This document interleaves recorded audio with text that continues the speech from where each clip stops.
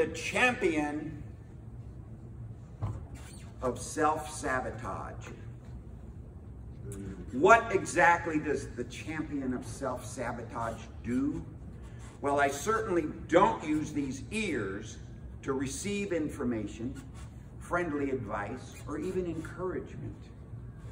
I stubbornly and blindly plowed through my life completely independent, self-sufficient, and unaware that there was a better way.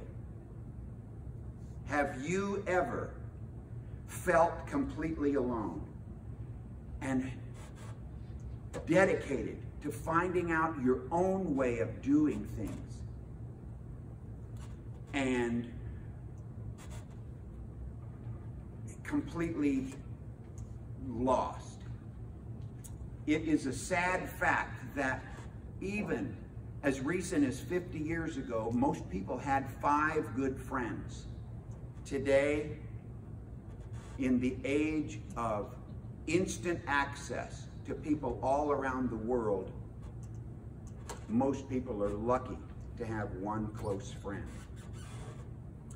I adopted the belief as a child that I was going to be better off if I figured out how to do things myself. I didn't dare interact with the other children on the way to school because they were busy picking on my older brother who was producing awkward and bizarre behavior. I felt excluded, alone, helpless, frustrated, and ashamed. I hated my brother. Frustration doubled by the time I was a teenager. I figured out that my family was the problem, and I came up with the solution. And that solution was to join the circus. On the circus, I found a fascinating family. They sparkled, they were active, they were buoyant, and they were always on an adventure. I became fascinated with what they enrolled the animals to do. And I began to learn from the animal trainers, and gradually, I even developed my own performing act with six ponies. The combination of receiving large amounts of approval from the circus audiences mixed with my low self-esteem and my fierce independence. And that is what set me up for the fall. Late one night, after giving two shows, driving through Western Ontario, I fell asleep at the wheel. Oh, shit!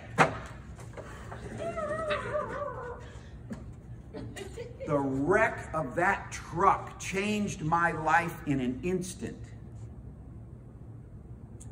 I couldn't keep up with the circus. They kept going. I was rejected by my pseudo family. The next thing you know, I was stranded in a foreign country. I was broke, I was ashamed, and I was completely helpless.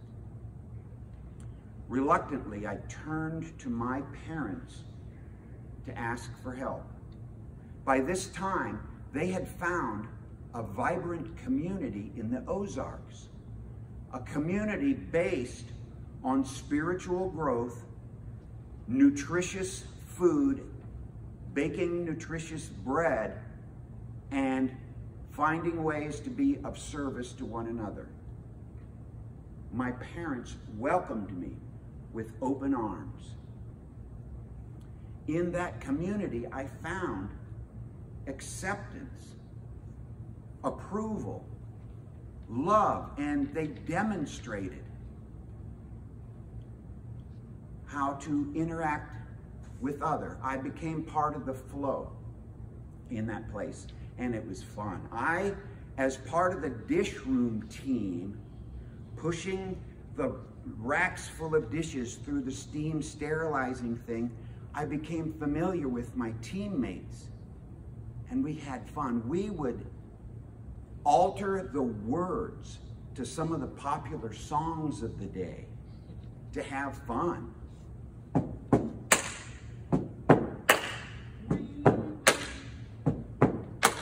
We will, we will wash you. and in that environment, I became familiar and connected, and I tasted my first taste of humility. Working in the bakery was fun. Every once in a while, the master baker would take a loaf of bread from the assembly line and break it in half to inspect it. That loaf became a perk for the workers. And I learned to go get myself a big chunk of it and go over to the 55 gallon drum and open the spigot and saturate that piece of hot bread with honey. And while I was eating that nutritious snack, I learned from the master baker. He told me that God loved me just the way that I am. I didn't have to perform. I didn't have to do something to receive my value. I didn't have to recite some vague mantra to receive some promise that's off in the future. I had the ability to begin to embrace the concept of, of being loved just the way that I am.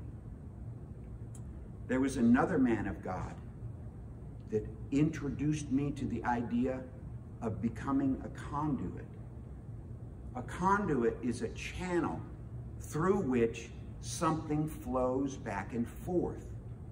And I had tasted contribution as the result of being in this community and becoming one of the teammates. They encouraged me to start to rebuild my life. I returned to the circus. I became en, en, ennobled and I began to learn from horsemanship masters. I created a, an astounding act with a jet black mule I took an American saddlebred horse to the top as a dancing horse and won an award at the international competition in Sarasota several years ago. And as you all know, I became a mural artist, and today I'm a pinstriping artist of the highest caliber. And today, I love my brother. He's the one who introduced me to Toastmasters. If you have ever felt a lack of confidence or are tempted to separate yourself in an attempt to negotiate the twists and turns that take place as we go through this life, what I encourage you to do is to take a step, walk through the portal of change, embrace community, reach out for the help that you need. Meet me for lunch. Whatever you do, don't stay that way because together is how we move forward as conduits. And the next thing that will happen is you will be living the life of your dreams.